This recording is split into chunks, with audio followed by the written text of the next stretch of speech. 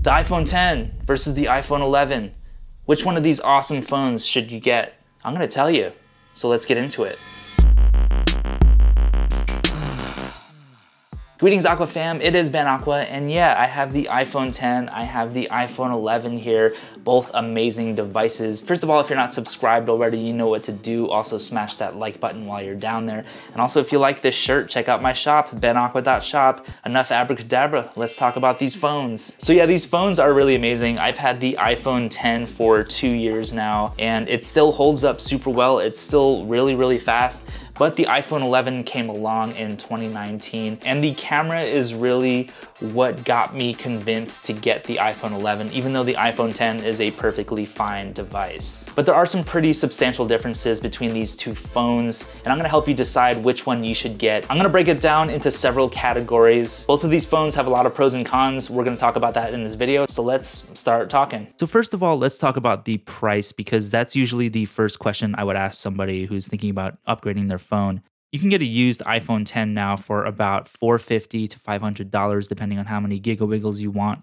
And at about $500 or less, the iPhone 10 is a really, really good deal considering it still works really well in 2019. The iPhone 11 starts at about 700 US dollars and then it goes up from there depending on how much storage you want. So when it comes to price, the iPhone 10 is the winner just because it's cheaper. But if you have the coin, you're not going to be disappointed with the iPhone 11 and it definitely feels like a $700 device. The next thing I wanted to talk about is the camera, which is one of the biggest differences between the 11 and the 10. The obvious winner here is the iPhone 11. I mean, it just crushes the iPhone 10 in so many different ways. And honestly, besides the price, the camera is going to be the biggest difference you're going to notice between these two different devices. On the iPhone 11, you get a much better selfie camera that you can shoot 4K video with up to 60 frames per second. The overall image stabilization is so much better on the iPhone 11 versus the iPhone 10. Like it almost looks like you're walking around with a gimbal. Portrait mode is way better on the iPhone 11. And also on the 11, you get night mode and deep fusion, which is coming really soon. And night mode has actually blown me away. I didn't really think I would like it at first, but I've gotten some pretty amazing results from really low light situations where there was almost no light in the entire room. But using Alien AI or whatever Apple does inside of these phones, night mode actually produced some really usable photos. It's not perfect, but it does a lot better in low light than the iPhone 10. But the one downside of the iPhone 11 versus the iPhone 10 in terms of camera is the iPhone 11 has no telephoto lens, but instead the 11 has a ultra wide lens, which is a really awesome lens, especially if you're shooting stuff where you're really close to a subject and you don't want to be like seeing their pores and stuff. You can use the ultra wide angle to back up the camera and see a lot more of your surroundings. The iPhone 10 does have the telephoto lens though, so you can zoom in to two times with optical stabilization, but overall I would say the camera is much better on the iPhone 11.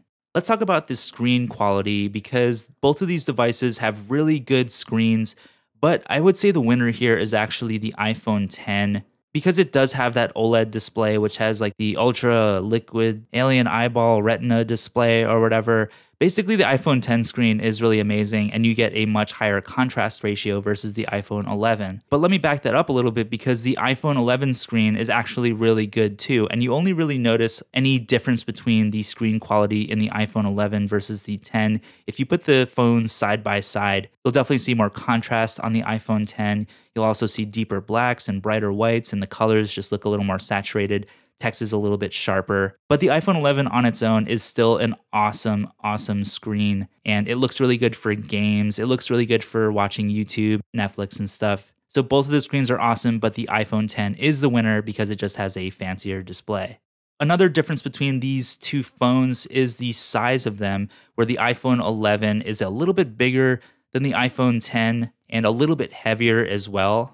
I actually kind of like the bigger size on the iPhone 11, but the iPhone 10 is a little bit lighter, so it feels smaller in your hands, but it also feels smaller in your pocket. And because the iPhone 10 is smaller, it's also a little bit thinner. You can hold it for a little bit longer than the 11 and it won't hurt your hands as much. But the size of the iPhone 11 is also really nice and I like that it's kind of the nice medium between the iPhone 11 Pro and the iPhone 11 Pro Max. So videos on it look a little bit bigger than the iPhone 10 I would say the winner when it comes to size is a tie. They're both really good sizes. If you prefer a smaller device, definitely get the iPhone 10. And if you like the slightly bigger phone, I would get the iPhone 11.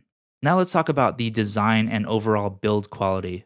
They're both built with really nice quality glass, but Apple says the iPhone 11 has the craziest and highest quality glass ever. Even though the cameras are super useful on the iPhone 11, how they designed it on the rear of the phone looks kind of clunky to me. Like when I saw the rumors initially, I was like, I really hope they don't actually use that as their final design. And then they used it. I'm sure we'll get used to it and it doesn't really bother me anymore, but it is a bit of an eyesore, honestly. But the iPhone 11 is also surrounded with a really nice, shiny glass and it feels like a really premium device. So don't believe any of the hype where people are like the iPhone 11 Pro is more premium because it has a glass that has a matte texture. The iPhone 11 feels really premium to me. It's not like a cheap feeling device at all.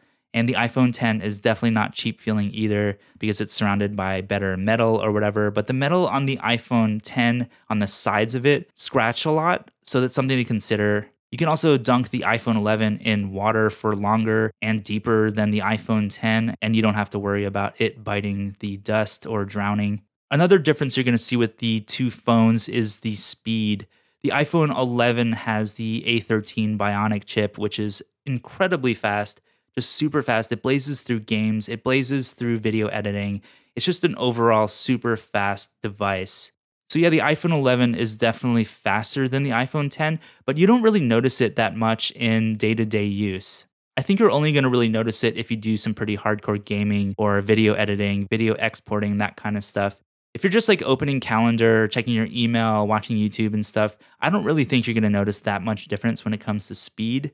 And if you want to see an even more in depth speed test between these two devices, I did a speed test comparison video, and I'll link that in the description below. Now let's talk about battery life because this is where the iPhone 11 has been noticeably better than the iPhone 10. And this may be because the iPhone 10 is two years old and the battery has gone through a lot of use. And I just got the iPhone 11 with a fresh new battery.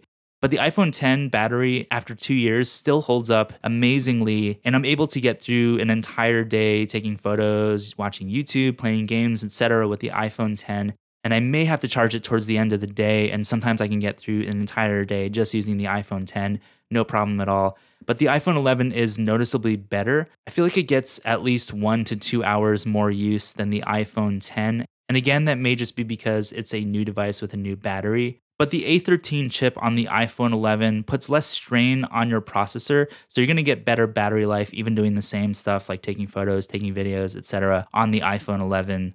So yeah, it's a faster processor. It's much more efficient than the iPhone 10. And the battery has definitely lasted me all day with really heavy usage on the iPhone 11. And I'll typically go to bed after, you know, four or five hours of screen time per day on the iPhone 11. Start charging the device, and there's still like 30 or 40% left on the battery. And the last category is 3D Touch, and the winner is going to be the iPhone 10 because the iPhone 11 does not have 3D Touch. I kind of missed it at first on the iPhone 11. So after using the iPhone 11 for a few weeks, I really don't miss 3D Touch at all. And now I actually kind of prefer not having 3D Touch on a phone so I don't have to firmly press down on a hard piece of glass, which honestly kind of hurt my fingers sometimes. So should you get the iPhone 11 or the iPhone 10? Well, if you're on a tighter budget and don't care as much about having the latest iPhone camera tech or processor, I'd go for the iPhone 10. The overall experience you'll get with the 10 is about the same as the 11, but the screen looks nicer, it's smaller and lighter, and with the money you saved, you could buy some juicy merch from benaqua.shop, so it's a win-win, BB. If you have a bigger budget though, I suggest getting the iPhone 11.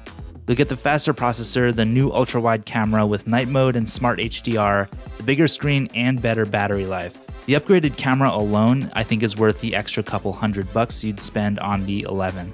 So now that you know a lot of not so scientific information about these two phones, let me know in the comments what you think. Are you gonna get the iPhone 11 or are you gonna stick with the iPhone 10? I think it really comes down to your budget and which features you like best in each phone. But when it comes down to it, I don't really think you're gonna be disappointed with either one of these devices. So hopefully this video was useful for you. Hopefully it was a little entertaining. If you have any questions about these two devices, hit me up in the comments. Smash that like, subscribe, notification notification bell. I really appreciate all your support. Thank you so much for watching this video and I'll see you in the next one.